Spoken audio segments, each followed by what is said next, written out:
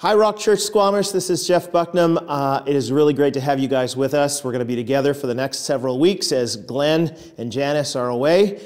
Uh, we wanted to give you a special welcome. I remember you very fondly. In fact, uh, preached there several times. We drove down from Whistler on one occasion, and my daughter felt a little bit ill at the beginning of the service. And when I started preaching at the Eagle Eye Theater, she came down to the front, ran in front of me, and threw up at the doorway. So that's what comes to our mind when we think of Squamish. Actually, it is, it is uh, a delight to have you with us. Uh, one of my favorite places, one of my favorite churches in British Columbia is the Rock Church Squamish. So, uh, without further ado, I want to introduce you to Mark Birch.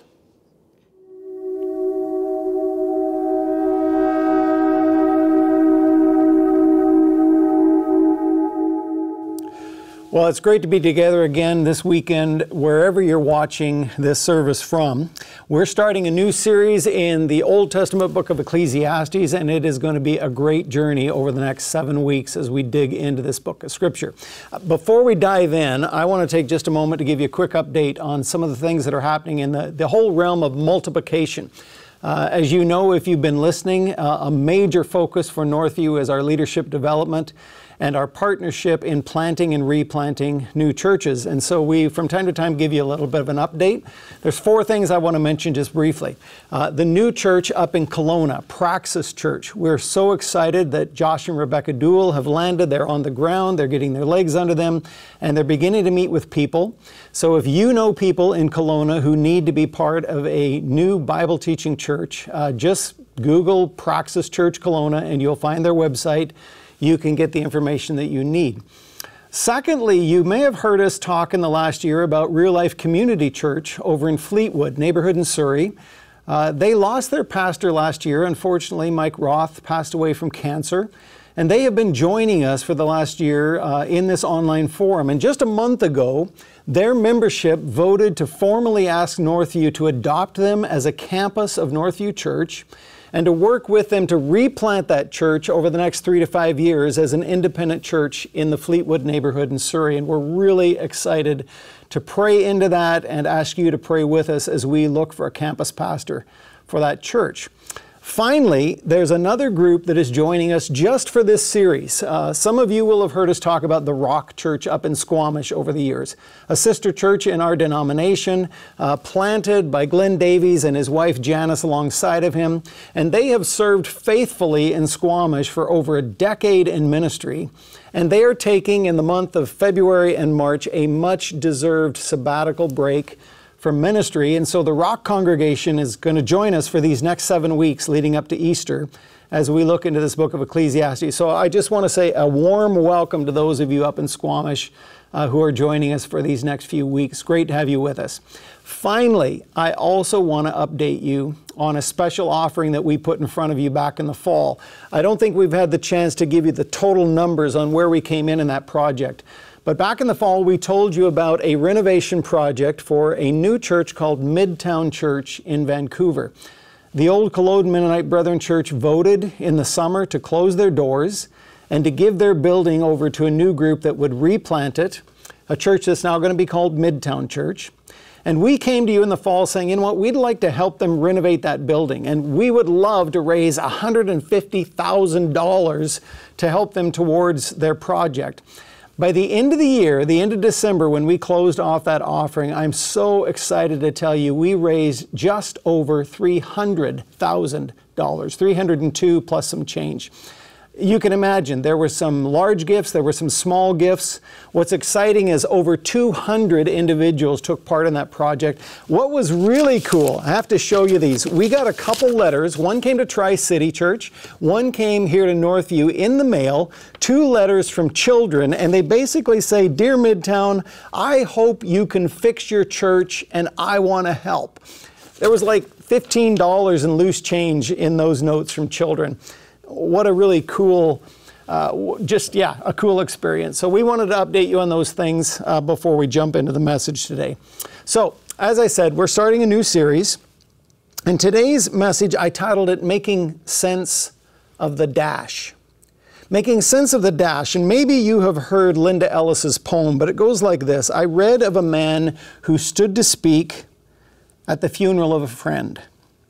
He referred to the dates on the tombstone from beginning to the end. He noted that first came the date of birth and spoke the following date with tears. But what he said mattered most of all was the dash between those years. For that dash represents all the time that they spent alive on earth.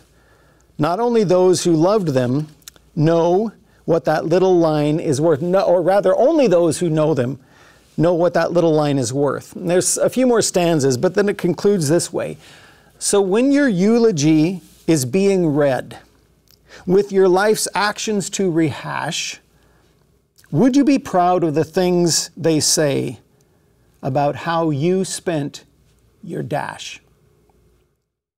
There is a growing number of books in recent years. It's a small number, but a steady stream of secular books that have called into question the craziness of the times that we're living in, specifically the radical reshaping of our worldview here in the West in the name of political correctness, so called progressive thinking, historical revisionism.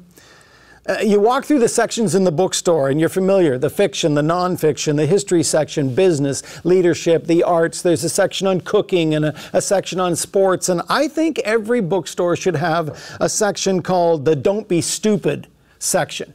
Uh, I brought some of my favorites along, books that I would categorize as the Don't Be Stupid type books.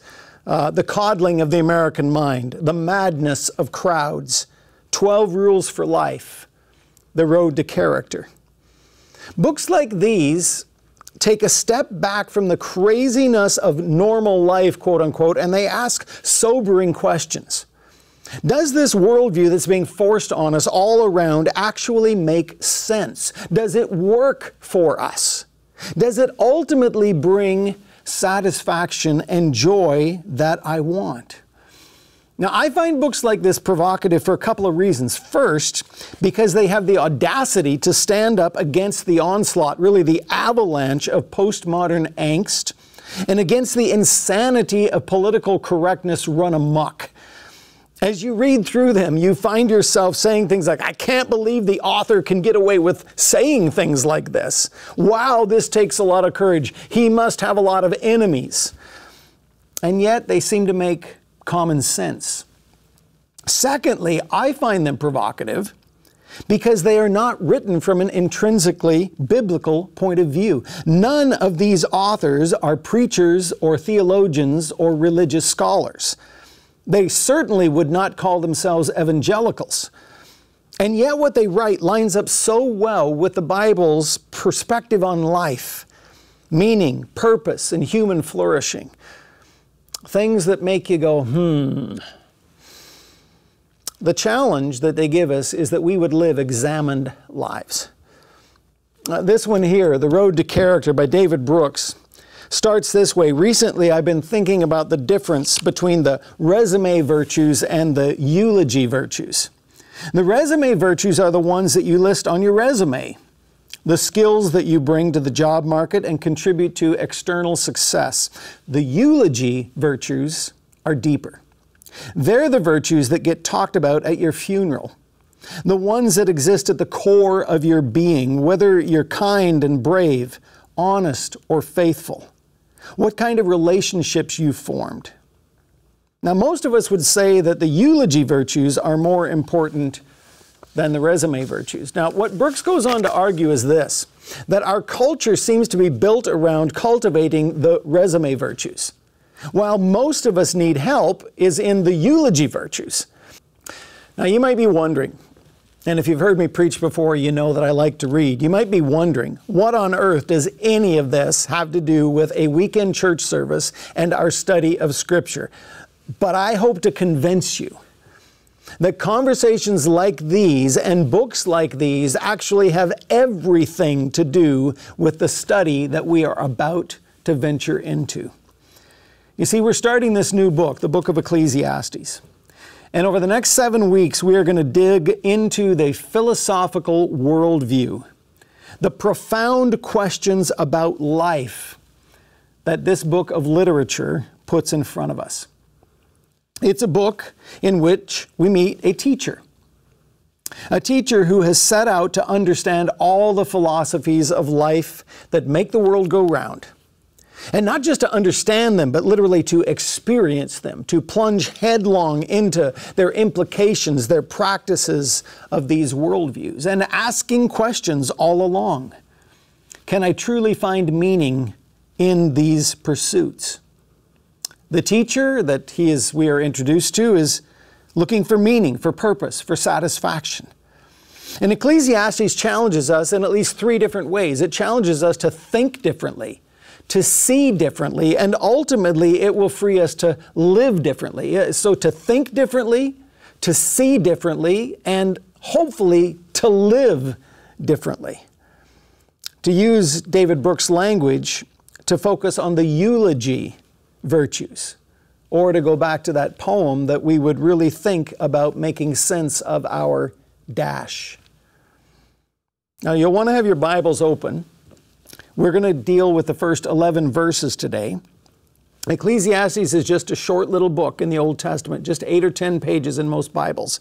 Uh, if you find Psalms and Proverbs near the middle of your Bibles, you'll find Ecclesiastes just next door. Job, Psalms, Proverbs, Ecclesiastes.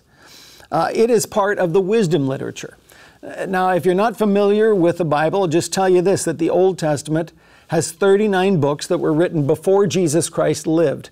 17 of them were history books, 17 of them were prophetic books, and five of them are called wisdom literature.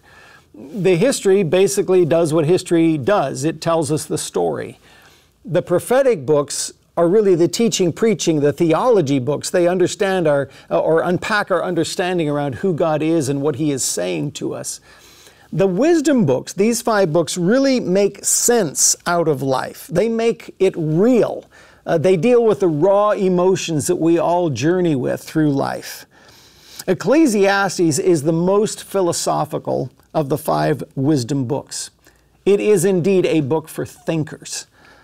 It asks questions of life that many are not willing to ask. Why do I believe what I believe? What is the story behind the story? What makes the world go round and how do I make sense out of life? Does God even exist?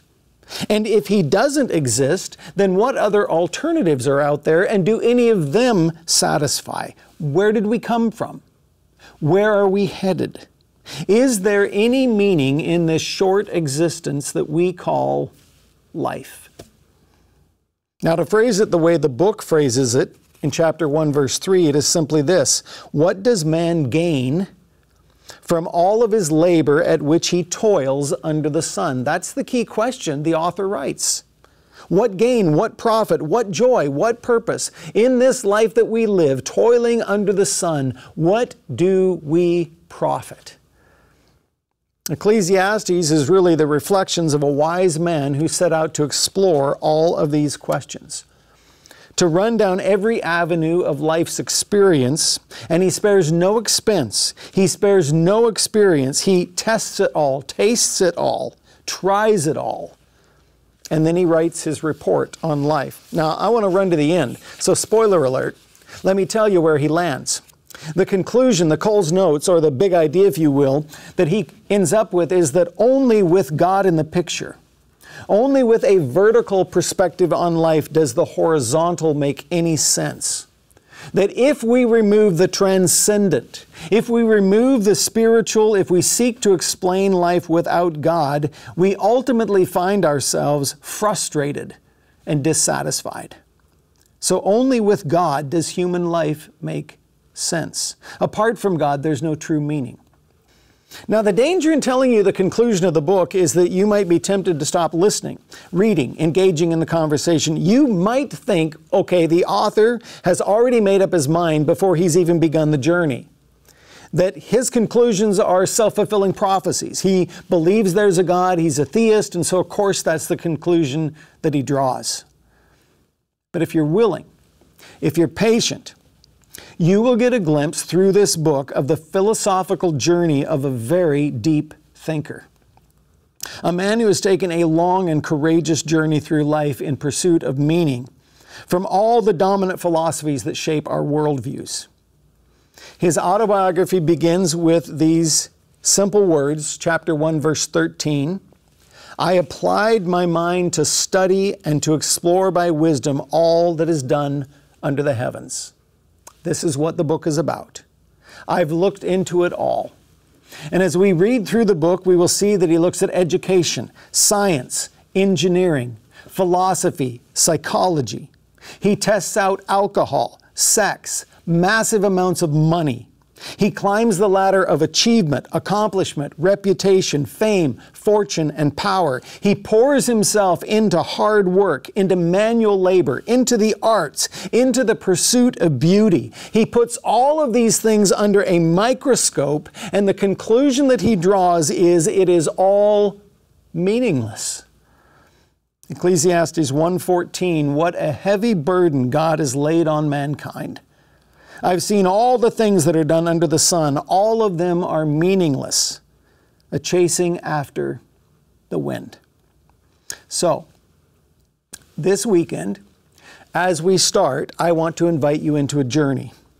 An invitation to ask yourself some deeper questions about your life and what you're living for. Are you willing to do the hard work of living an examined life? I would encourage you that you would take time over the next seven weeks to read this book of Scripture every week. It's just eight or 10 pages long. You can easily read it each of these seven weeks and let it just marinate in your soul, in your spirit, in your mind. You might even want to pick up one of these Don't Be Stupid books and read it alongside of our study. But as we jump into the first few verses today, we're simply going to meet the main character and get the main themes. And so you've got your Bibles open, I hope, Ecclesiastes. The first three verses read this way The words of the teacher, son of David, king in Jerusalem. Meaningless, meaningless, says the teacher, utterly meaningless. Everything is meaningless. Uh, great encouragement, right? Verse 3 What does man gain from all his labor at which he toils under the sun? So in verse 1, we simply meet our guide, we meet our teacher, or some of your translations will say preacher. Uh, the Hebrew name literally means uh, collector, a gatherer, uh, an assembler, if you will. And it could be used in two senses of the word that the teacher or the preacher was a gatherer of people. He gathered around him students, people, a congregation to listen to his teaching. And so it's not uncommon that we would say a preacher needs an audience. But secondly, you can think of it in this way that as a teacher, as a preacher, he is a collector, a gatherer, a bringer together of wisdom. His trade and his craft was the world of thoughts and ideas and words. We are told he is David's son and that he was king in Jerusalem. Now, many people assume that this was Solomon, and that makes really good sense. However, it's never specifically stated in the book that it is Solomon, so we make that assumption by the content of the book. Verse 2, we get to the main theme meaningless, meaningless, meaningless, meaningless. Everything is meaningless. The word is vanity in some of your translations or meaningless. 38 times it is used throughout this book. And it comes up in other Old Testament books too, but none so repetitive as here in Ecclesiastes. The word is translated uh, in several different ways nothingness, perishable, vanity, meaningless, breath, breeze, vapor. Uh, the New Testament book, James, picks up on a similar theme when it asks the question, What's your life? A mist that vanishes at dawn. Very similar thought. And it simply refers to the intangible, transient essence of human life that's impossible for us to grasp in our hands. Uh, Psalm 39 carries this same word Show me, Lord, my life's end and the number of my days. Let me know how fleeting my life is. There's that phrase. You have made my days a mere handbreadth. The span of my years is as nothing before you. Everyone is but a breath. There is that same word. Even those who seem secure. For every one of you who have stood by the graveside of a loved one, you know how true those words really are. Whether it is a young person or a person who has lived 90 years, somehow those years fly by in a moment. In chapter 1, verse 3, we get two more important themes. And the first is this it is the idea of toiling and striving and endless pursuing, laboring. The word is trouble that I see under the sun. What does a man gain from all his labor, his laborious toiling? That's a theme that's going to come up again and again in this book. The second is the specific context of all this toiling, specifically under the sun. That is a reference, a quote, a phrase that you need to take note of. It appears 30 times in this book under the sun, under the sun, under the sun. In other words, life on this earth, life on the terra firma without any external worldview, life without God, life without a deeper meaning or purpose or design. We would call it naturalism or humanism or materialism, life in the natural sphere. The study I set myself upon, the author says, was to explore all of life from a purely naturalistic perspective. No transcendent reality, nothing eternal, nothing spiritual, just material, no heaven above, no hell below. Uh, John Lennon took a page from the teacher when he wrote his song Imagine. Imagine there's no heaven. It's easy if you try. No hell below us above us only sky. Imagine all the people living for today. You see, what Lennon was saying is that what the teacher himself is looking for and trying to explore life under the sun, if we could just get rid of God, religion, heaven, and hell, just let the world be one huge happy family without all our theological and philosophical ponderings on life. It really isn't that hard. Let's just put it to the test and see what we discover. Imagine, imagine. The first three verses then are the overview for where the whole book is headed. And then in verse 4, the teacher starts his melancholy musings. Generations come and generations go but the earth remains forever. Uh, it means exactly what it sounds like it means. Some are born and others die. Nothing changes. The earth just keeps rolling along. Turn, turn, turn, turn. We know this to be true. Today, literally this day, as we sit through this message, 385,000 new babies will be born around the world. On average, 140 million each year. Our world population is rapidly approaching 7.9 million billion people. On the other end of the spectrum, 150,000 people will die today all around the world. People are born, people die, and the earth just keeps spinning. Verses 5, 6, and 7, he gives three illustrations, the endless cycles of life. In verse 8, he asks the question so when you add this all up, what are you left with? All things are wearisome. All of this, all of these cycles just wear me out. More than one can say, the eye never has enough of seeing, nor the ear its fill of hearing. The word means striving, weary, troubled. Might say I'm plumb tuckered out. I'm just weary weary of the routines of daily life. We're always left hungry and searching for more, the next experience. It's the echo that we hear of Bono and U2, the famous ballad that rolls through our minds. I still haven't found what I'm looking for. I still haven't found it. Verse 9 and 10 simply remind us that was, what has been is going to happen again. What has been will be again. What has been done will be done again. There's nothing new under the sun. Is there anything of which one can say, look, this is something new? It was here already long ago. It was here before our time. In other words, again and again and again, the cycles of life run their course, and there is nothing true, truly new under the sun. Now, of course, technologies change, but life at its very essence is basically the same we're no different than our parents or our grands or our greats. What goes around comes around. In verse 11, the narrator asks the question so, why don't we act like we know this? There's no remembrance of men of old. Even those who are yet to come will not be remembered by those who follow. He says, in essence, we have amnesia. We don't have rearview mirrors. We don't study history. We act like we're the first generation to discover life. We can't remember our own great grandparents' names, let alone the part that they played in shaping the world. And what's more is that when we're gone, we too will be shortly forgotten. The big names of today will be unknown to the kids who are going to be born to today's kids. Now go back and look at chapter 1, verse 2 all over again. Meaningless, meaningless, says the teacher. Utterly meaningless, everything is meaningless.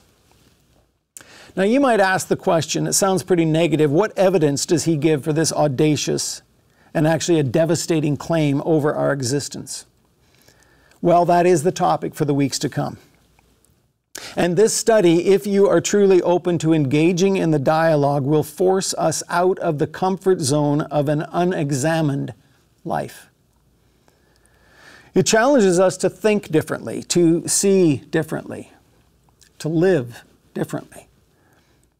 It's an incredibly important book of Scripture for the days and the times that we're living in because this book of Scripture dares to do what modern philosophy refuses to do. This book dares to draw a conclusion. It dares to give advice. It dares to call stupid what is stupid. It dares to call wise what is truly wise. It dares to take a stand. It dares to say there is indeed an ultimate standard of right and wrong in the universe, something that modern worldviews refuse to say. In the foreword to Jordan Peterson's book, 12 Rules for Life, uh, Norman Doidge is uh, defending and talking about the title of a book called Rules for Life in the generation that we live in. And would anyone buy a book with the word rules in it in today's day and age? But he highlights the hunger in a younger generation for voices that are actually willing to take a stand and how young adults, millennials in particular, are, are looking for advice on living a full life and, and how they have clamored to Peterson's lectures by the tens of thousands to hear his common sense. It's interesting for sure that a book titled 12 Rules for Life sat on the bestseller list for months and months and months. The moral relativism of our day is creating a generation that's adrift a generation that is hungry for someone to stand up and say with authority and with conviction, This is the path to life and you should walk in it. And Ecclesiastes is such a book. We should include Ecclesiastes in our don't be stupid list. The teacher is going to challenge all of the isms that make up our worldviews. Naturalism. Naturalism that says there's nothing more to life than what we see in the natural realm. And the bumper sticker for the naturalist could be You only live once, YOLO, or Carpe Diem, seize the day, you only have today. The teacher challenges the three friends of hedonism and materialism and consumerism. Philosophies that tell us that the highest good in life is the amount of pleasure that we can drain out of life. The highest good is to reduce pain and increase pleasure.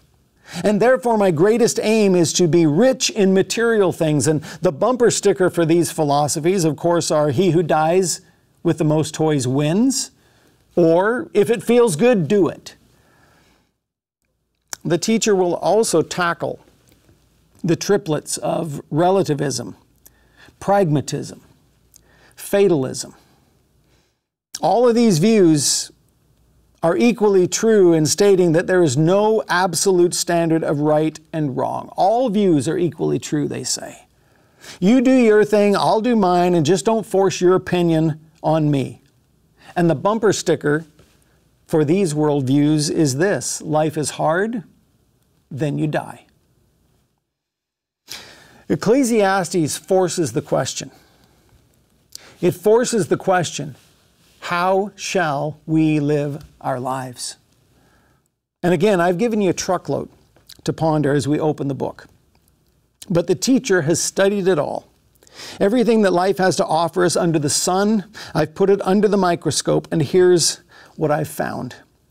And in this book, he seeks to make sense out of the short window of time that we call our lives here on earth, or what Linda Ellis has called our dash.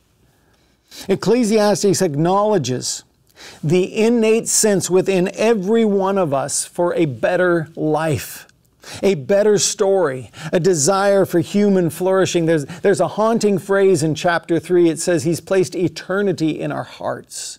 He's placed an acknowledgement of the eternal.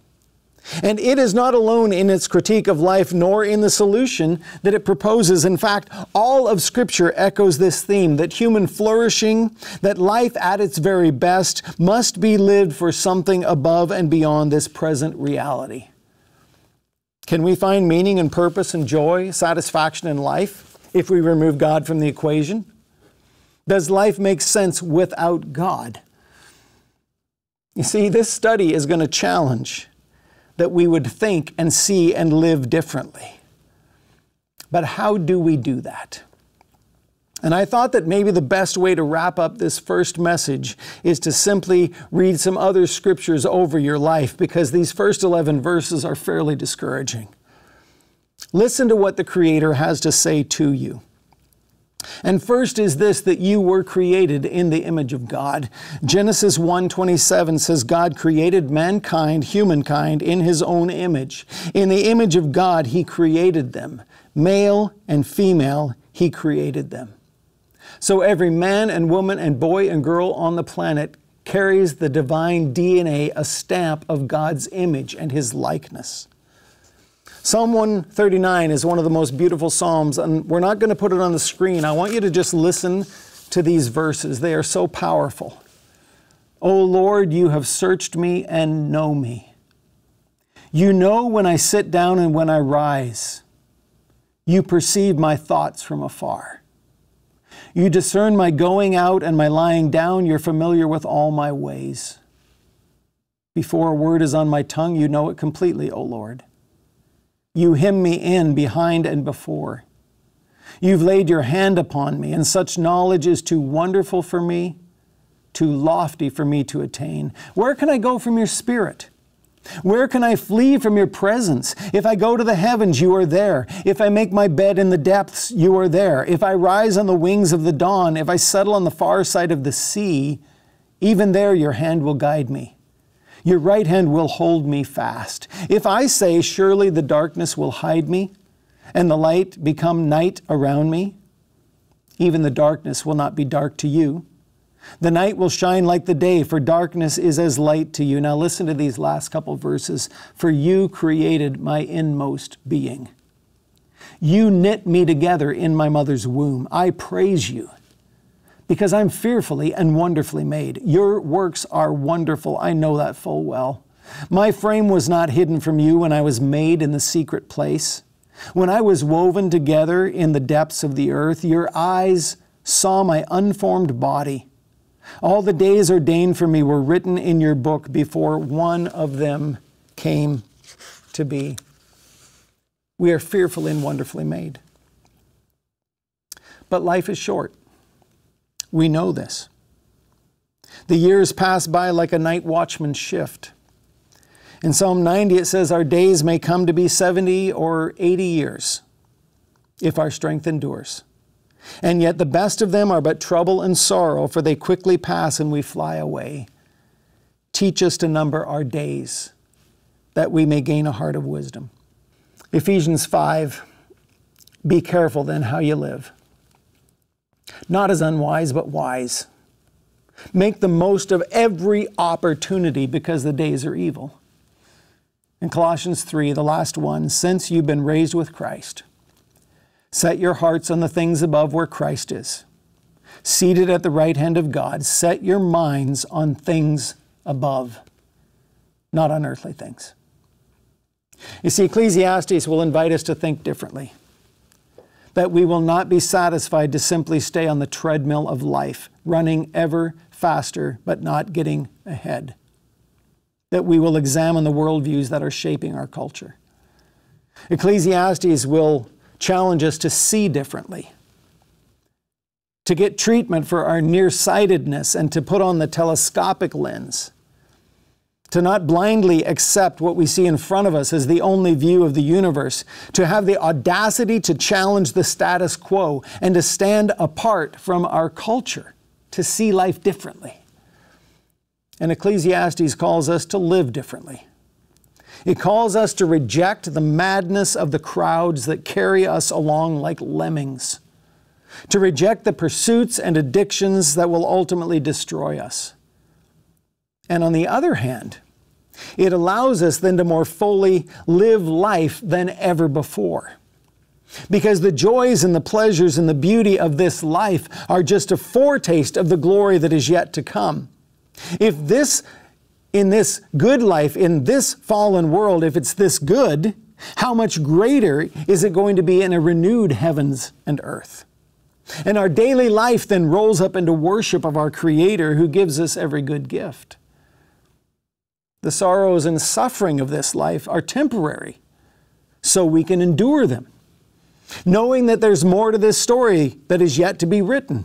We understand that creation is groaning, that we ourselves are groaning, that life under the sun is sometimes a painful journey, but these sufferings fade in light of the glory set before us.